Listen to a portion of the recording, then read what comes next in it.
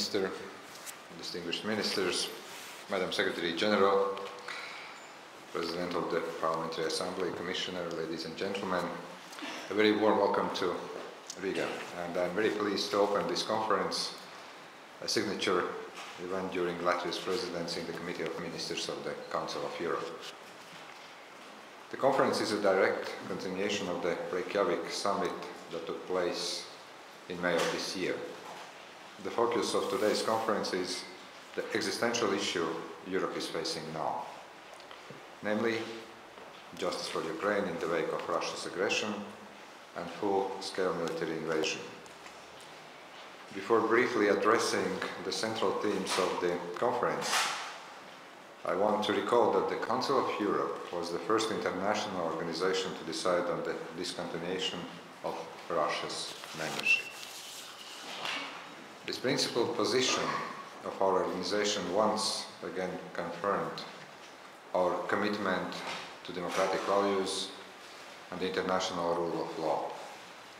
It also affirmed that our organization is ready to assume a leading role in actively defending these values. Today's conference confirms that our commitment has not wavered. We seek, we seek justice for Ukraine we stand with Ukraine as long as it takes. Ladies and gentlemen, during today's conference, you will address themes that represent pillars on which justice is built accountability, resilience, and hope. First, accountability. Russia has brutally violated international law. It must therefore face full accountability. By full accountability, I mean both responsibility of Russia as a state and the individual liability of those Russian officials who launched the war of aggression against Ukraine. Those who committed war crimes and other most serious crimes of international concern. Russia must also bear full responsibility for the damage, loss, or injury caused to Ukraine and its people. I commend the Council of Europe for creating the Register of Damages. This is an important step towards a future international compensation mechanism. The Register of Damages will ensure proper registration and documentation of the devastation Russia has brought to Ukraine. I call on all countries that have not yet done so to join the register and demonstrate our solidarity with and support to Ukraine. During our presidency in the Council of Europe, Latvia has determined to advance the operational launch of the register. I welcome the intention of the ministers to adopt today a declaration containing principles that will guide the functioning of the register, or Riga principles. I particularly welcome the emphasis on victim-centered approach. We must make sure that victims, in particular the most vulnerable, such as women and children, remain the focus of our efforts. Second, resilience.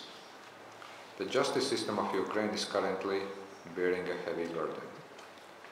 It continues to ensure justice and rule of law, including through investigation of crimes committed by Russia. By continuing to uphold fair trial standards, Ukraine clearly demonstrates its values and the strengths of its democracy. I encourage member states of the Council of Europe to provide support to the action plan on resilience, recovery and rebuilding of Ukraine. Latvia has already provided the, financial contribution. And finally, hope. We all have heard and seen heartbreaking reports about Ukrainian children being forcibly and illegally deported to Belarus and Russia. We must do our utmost to ensure the return of these children, to ensure that they are reunited with their families. We must restore hope. Ladies and gentlemen, in Reykjavik, we committed to strengthening the role of the Council of Europe. We also reiterated our common resolve to unite around our values and standards. I'm very confident that today's conference will be an important contribution to our work for the benefit of all Europeans, including future generations. Thank you.